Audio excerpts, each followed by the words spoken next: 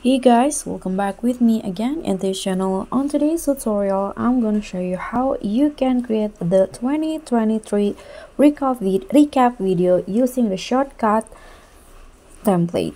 So in here, I've already opened the ShotCut template and uh, ShotCut apps, I mean, and what you need to do is go to the template tab and then just, sorry, just search for the template by clicking on the search column at the top.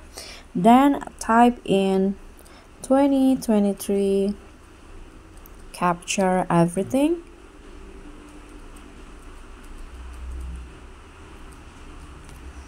Okay, so this is the template and click on use then you can just add videos or photos into the template i'm going to just add photos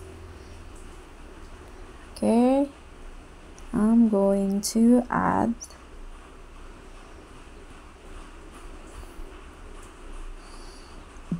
okay after that click on next at the bottom.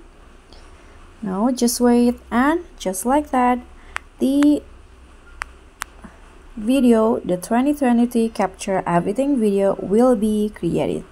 So just click on export when you're done and that's it. Thank you so much for watching. Don't forget to like comment and subscribe and also click on the thanks. Bye